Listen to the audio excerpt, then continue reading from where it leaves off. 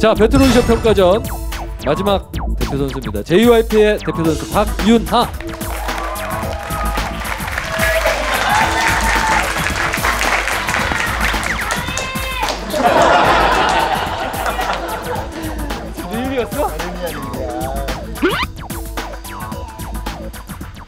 우리 유나 양은 네. 일단 한 가지 특징이 있어요.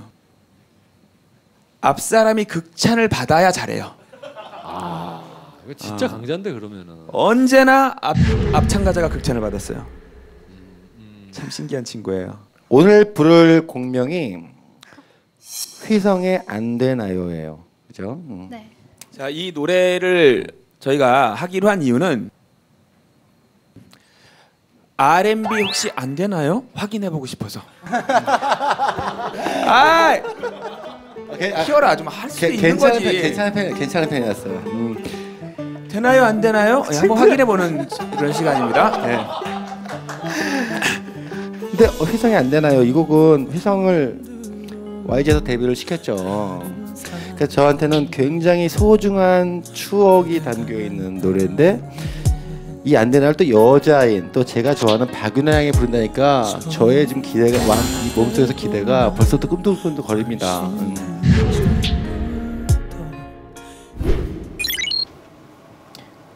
안 되나요 해볼까? 아니 아까 보니까 애드립 라인이 생각보다 되게 좋아. 애드립 해볼게요. 몰라요. 나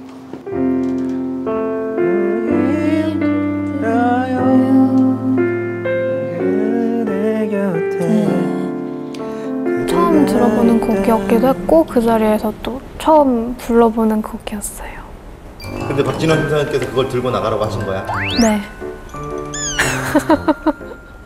아직 어린 나이기 때문에 조금 더 다양한 음악을 들어보고 또 불러봤으면 좋겠다는 생각에 그동안 윤아 양이 즐겨 부른 노래와 정반대의 R&B 스타일의 노래를 한번 시켜보고 싶었어요. 어떻게 하나? 어, 근데 이런 걸 한번 불러보는 게 큰 도움이 될 것 같아요. 평가전이니까 만약 잘 못 불러도 큰 부담은 없고요. 저는 박민아 양이 안 되나요를 부르는 걸 지금 한 번도 못 들어봤어요. 아 정말? 처음 들어보는 거예요. 너희가 한번 해볼래? R&B 한번 해볼래? 네 하고 지금 여기서 만난 거예요. 아 정말 아, 못 들어봤어요? 네. 아 떨려. 저는 박윤아 양이 지금까지 부른 곡들이 사실은 예쁘게 부를 수 있는 발라드였는데 이 곡은 좀 결이 달라서 이 곡 어떻게 부를지 지금 예측이 좀 안 되긴 해요. 일단 오늘 별로면 다시 이런 장르를 좀 피하면 되는 거니까 네. 편하게.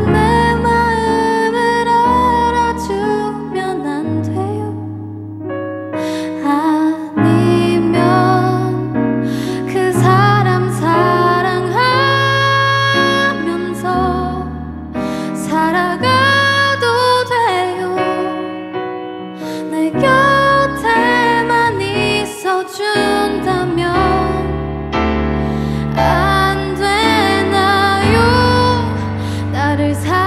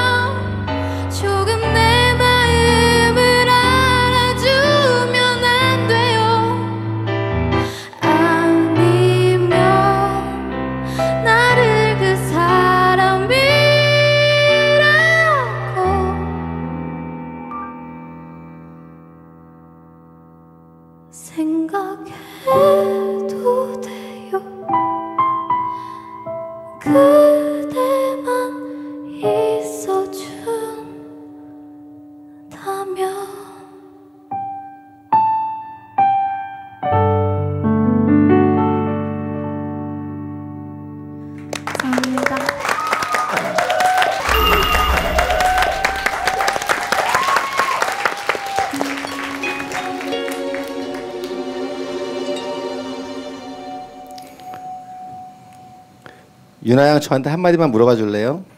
네? 한 마디만 제목 얘기해 봐 주세요. 안 되나요? 안 돼요. 안 되나요? 안 돼요. 안 돼. 왜냐하면 유나 양은 R&B를 표현하기에는 유나 양의 목소리가 너무 아까워요.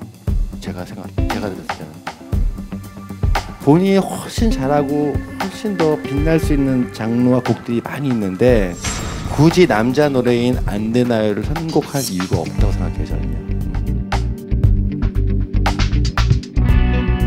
저는 지금 이 무대를 보면서 또다시 박진영 씨에게 굉장히 화가 나요.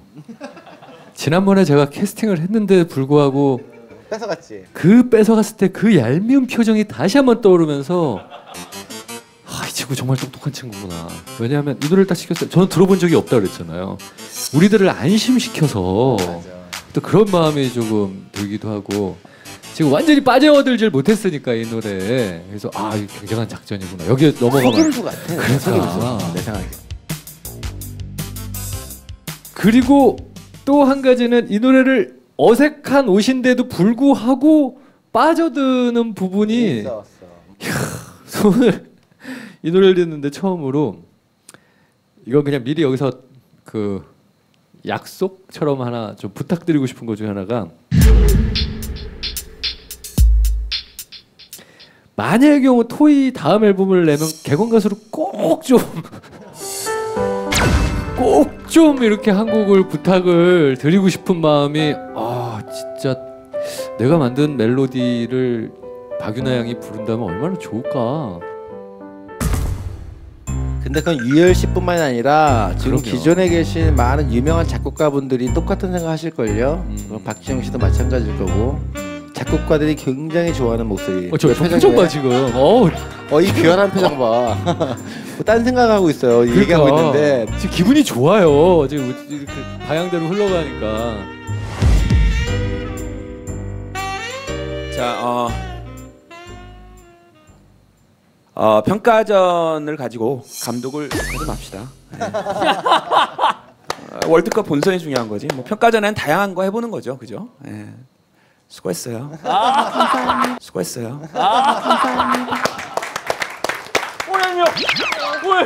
아, 수고하셨고요. 그러면 그 앞선 참가